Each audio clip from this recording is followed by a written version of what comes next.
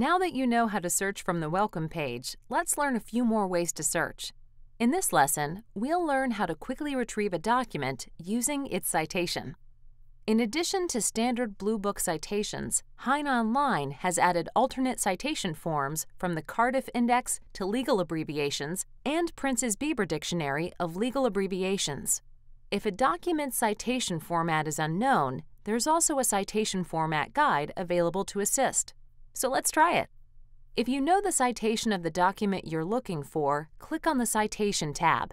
First, let's assume that you don't know the citation format. Luckily, you can click on the Citation Format Guide that appears below the search box for an A to Z list of titles. Click on any title to access volume and page boxes.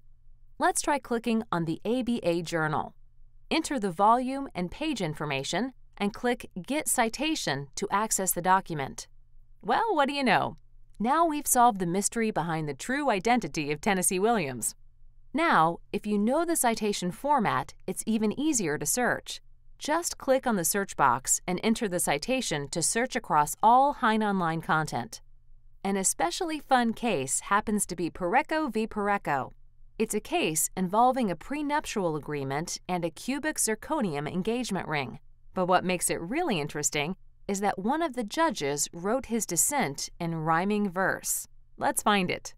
The citation is 811A 2D 566, 2002. Here it is. Now scroll down to Judge Eakin's dissent. He starts with A groom must expect matrimonial pandemonium when his spouse finds he's given her a cubic zirconium. Instead of a diamond in her engagement band, the one he said was worth 21 grand. Of course, not all the cases you look up will be this entertaining, but at least now you know how to find them.